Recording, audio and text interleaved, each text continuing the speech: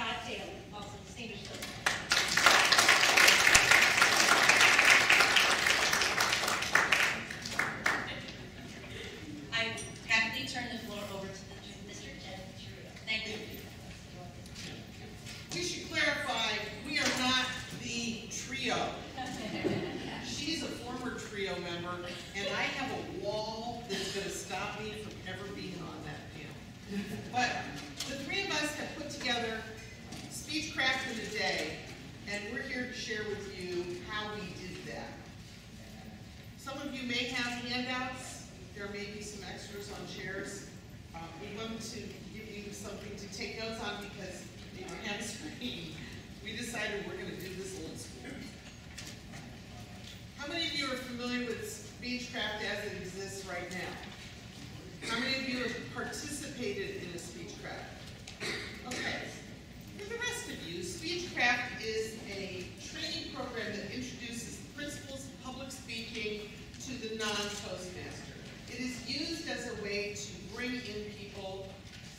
Toastmasters, as well as to provide service to the community.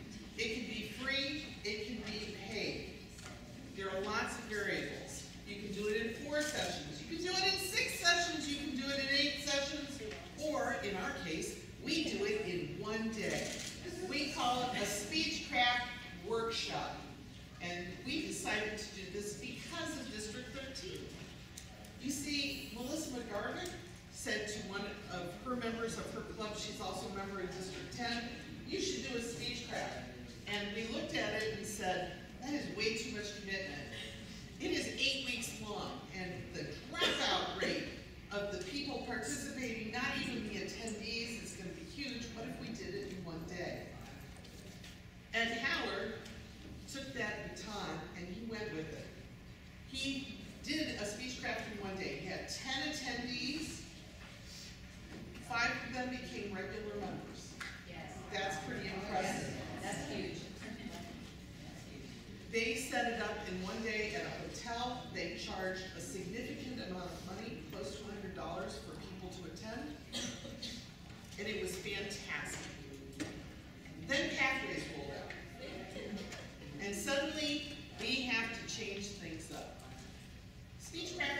not available through Toastmasters International. It's out of print. It's on back order, which means they don't know when they're gonna get around to printing it again. And that makes sense.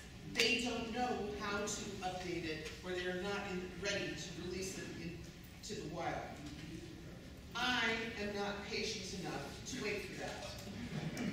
Therefore, I took Pathways, I'm a Pathways guy, so I had the inside scoop, very little inside scoop, about how Pathways was organized. When we decided to do, my club is Toastmasters in Green, south Akron. When we decided to do a toast, a speech craft, this became a critical point. We decided that the only way that we were gonna pull this off with a one-day workshop is if we meant that each attendee became a member. And when attendees become members, they have access to pathways. Oh, all of a sudden, this makes it really simple. Instead of doing speeches out of the conflict communication track, we instead have them do a, and their icebreaker and then two evaluation and uh, preparation speeches. Over the course of the day, our attendees will give three speeches and an evaluation. In essence, they've done all but one speech for a first level in Pathway. It's that simple. Why not make them members, get them on the pathway, and get them started? We require the membership fees so that they can be on pathways. Now, since every pathway, level one is exactly the same, it doesn't matter that they haven't selected which pathway they pick, it all works. We have listed here six steps that, to create the one-day seminar. Our price point for our second speech, or speech craft became a topic of conversation in the International Toastmasters LinkedIn website. We charged hundred and forty-seven dollars per person for our second speech craft. We charged ninety-seven for the first one and we took a bath. It was, we spent so much money, we got a three hundred dollar gift from an advance club and we burned through that as well. We learned a few things and I wanna make sure that you understand some of the things that we learned so you don't make those same mistakes. Make sure you price it to cover your expenses.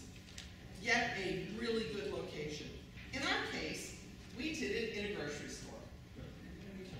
Does that make a lot of sense? The first one we did it, we did it in a meeting room and we had to have it catered from outside. We got Mission Barbecue, they sold us a lot of food, we sent a lot of food home with people. It was so much better to do it at the grocery store because the catering could be arranged literally the night before. We knew exactly what we needed, we paid for exactly what we needed and no more. Saved a lot of money there. Marketing was the biggest issue. How do you get people through your doors? When Ed did his first one-day pre- presentation of Speechcraft, he got ten people. I would have been happy with five, and I never made five yet. My first one, I had four, and one person left in the middle. She had a family crisis. The second one, I had three people, but I'm so glad that we started with these little groups. Marketing is a big challenge to get people out and aware of this. Now, there's the obvious things. Facebook, Meetup, Eventbrite, but we discovered that the best way to get people through the door was to go through the corporate clubs. We went to the corporate clubs and said, would mind advertising this for us? We had more people come from Goodyear than we've had come from any place else. We have had teachers come because somebody saw it recommended by somebody else. It was personal contact It was not advertising, which is not to say you shouldn't do advertising. If you've done an open house, you know the value of doing good marketing. Eventbrite and a Facebook event and meetup are invaluable, but for the Speechcraft for one day, it was far better to have personal contact.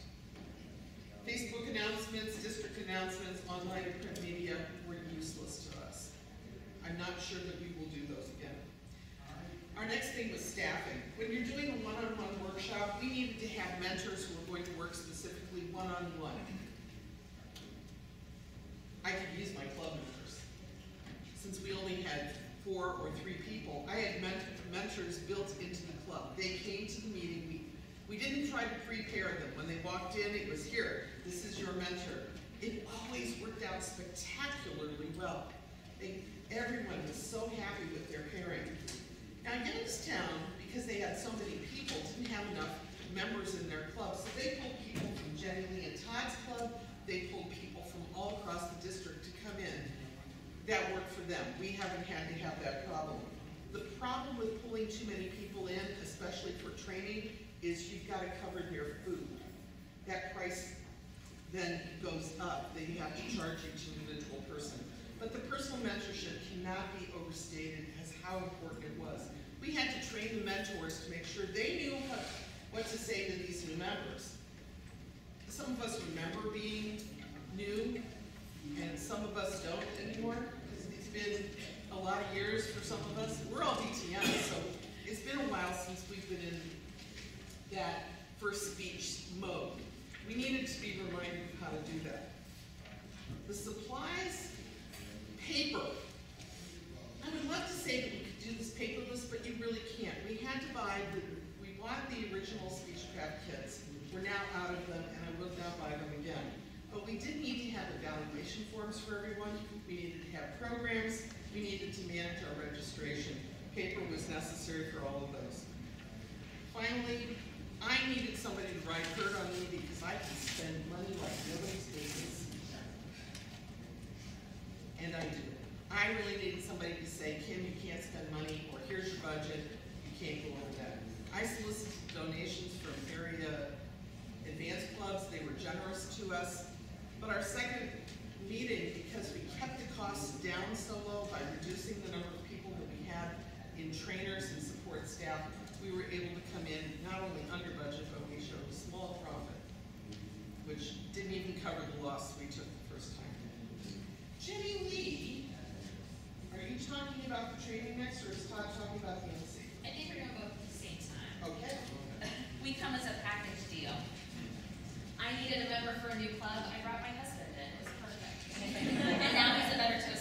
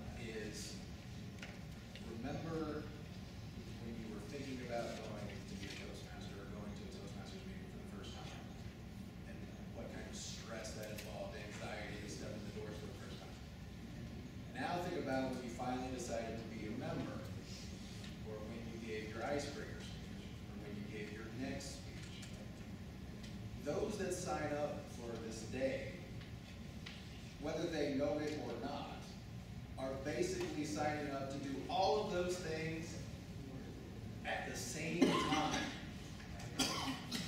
And so you have to keep that in mind, and I try and keep that in mind as I'm introducing each speaker, as we're going through each part of the day, that I have to keep it as energetic and upbeat and friendly as possible, because you are trying to pull these guys into coming up with these speeches and ideas, because they're all in the same boat as we are when we started. I don't have anything I really wanna talk about, or I'm afraid to talk about such and such. So we try and make it as friendly as possible. I have some personal stories that are somewhat funny, I would say, maybe, that I try and wrap into the conversation. If somebody gives a story about going to school or being a teacher or whatever it may be, I'll roll that in just to have some jokes on hand that might get a laugh or two with the, the crowd. He's an engineer, I'm right? an engineer, so there are jokes involved with that as well. Some of them drier than the next, but we try and keep the energy up. As an engineer, I, I find energy a little hard to deal with sometimes. So normally before these things start, I have at least two, if not three Red Bulls to start off. Just to make sure, I'm at, it, it takes that much just to get me at this level, let alone speech craft. There may a Red Bull somewhere hidden on this stage, just in case if I slump over, someone go search for it. But that's what we're trying to do is, I, I watch the time just like any Toastmaster, but there's never that moment in the day where as Toastmaster, you're like, oh, the speaking portion is over, I can hand this off to the general evaluator, my time is done. No, because as soon as that general evaluator is done, you're already talking about basically speech session number two. What are we doing? How are we prepping for this? Getting everybody in order, that way the speakers know what, what order they're going when, when they finally do develop their speech. I'm going in, checking in with every single group to make sure they are in decent shape. We've got a speech starting to come together. I got a title, great. If you don't have a title yet, I'll come back in five minutes. Whatever it takes to make sure they're engaged with their mentor, to make sure they're engaged with me. And then I'm also, I, I wear many hats, not as, not as many hats as Kim does. But, thank you for wearing a hat today. Last time I told that joke, she wasn't even wearing a hat. But I, I, I throw in my points of growth or, or evaluation when I think that a mentor may have missed something or something that they might not have caught in between speaker one and speaker two or evaluator one and evaluator two, just to make sure they're still getting as much feedback as possible and optimizing that instruction that they're getting for that full day. That's basically my role. He's gold. He is gold. We are successful because of Todd. I'm just glad Kim thinks. I say that too, but it means more probably coming from someone who's not really good at it. To break down the four meetings, each section will have table topics. This also serves a few different purposes. First, it's giving everyone a chance to speak on low pressure. It's not their icebreaker. It's a, it's a question. It's an easy conversation between you and the audience. It gives them that opportunity to find their voice before they have to write their speech. The one issue that we have had in the past is some of our mentors get really, really excited about table topics and they all volunteer and we start running out of time for the actual participants to participate. We try to rein back on some of that exuberance from our mentors so that we can allow the individuals who are new to participate and be able to speak. In the first section, there is a prepared speech of how to do an icebreaker. In the first three sections, there are chances for instructors to help prepare the speakers to write their speeches. So as we are presenting these topics, we're not only showing them how to do it, but we're giving them the tips as well. So we tell them how to build an icebreaker and weave in the stories of our own icebreaker at the same time. And then there's a prepared evaluation. This is to explain to them the type of things that their mentors are going to be evaluating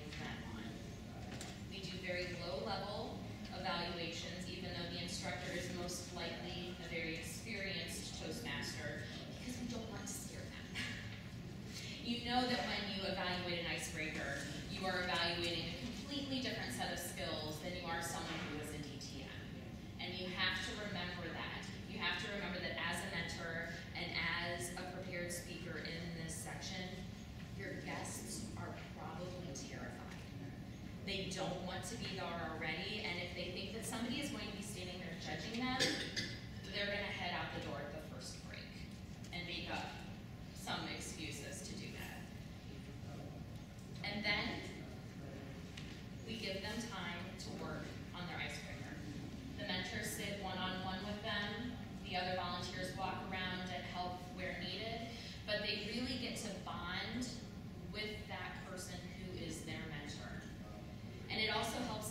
evaluations because their mentor